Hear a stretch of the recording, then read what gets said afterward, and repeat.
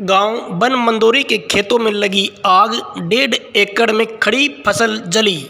गाँव बन मंदोरी में गेहूँ के खेत में आग लगने से करीब डेढ़ एकड़ गेहूँ की फ़सल जलकर खराब हो गई।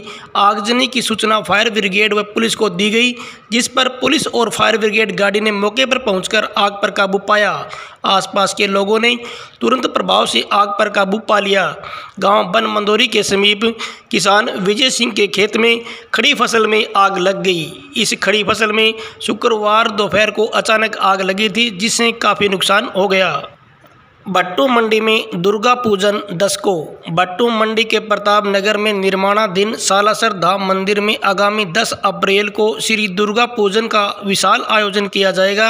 चित्तर मोहन शास्त्री व मास्टर राजेश बेनीवाल ने बताया कि 10 अप्रैल को आयोजित कार्यक्रम में श्री दुर्गा नवमी के दिन 108 कन्याओं का ब्राह्मणों द्वारा विधि पूर्वक पूजन होगा तथा बाद में भोजन प्रसाद का भोग भी लगाया जाएगा।